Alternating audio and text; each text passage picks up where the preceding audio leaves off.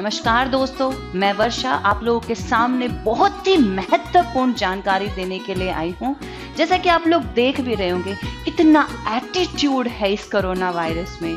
भैया, देखो, हम खुद बाहर जा रहे हैं घर से। खुद इस वायरस को अपने घर के अंदर लेके आ रहे हैं। तो कमी किसमें हुई? कमी हमारे अंदर ही तो हुई।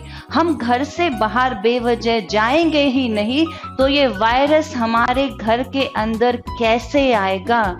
सोचने वाली बात है। ये वायरस जब तक आपके घर नहीं आ रहा है, जब तक आप अपने घर से बाहर इसको लेने नहीं जा रहे हो तो अपनी रिस्पॉन्सिबिलिटी समझो, अपनी ज़िम्मेदारी समझो। इसका एटीट्यूड ठिकाने लगाना है कि नहीं लगाना है?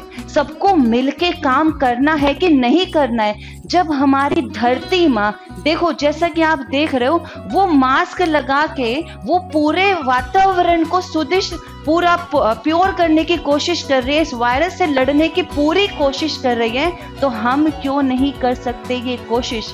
मेरी बात पर ध्यान दीजिएगा, इसका एटीट्यूड अगर ठिकाने लगाना है तो हमें अपना एटीट्यूड बदलना होगा। हाँ जी, हमें अपना एटीट्यूड बदलना होगा। बेवजह घर से बाहर नहीं जाना है, तभी ये वायरस की अकल ठिकाने आएगी। धन्यवाद मेरी बात को समझने की पूरी पूरी कोशिश कीजिएगा और इस वीडियो को जितना हो सके शेयर कीजिएगा। धन्यवाद।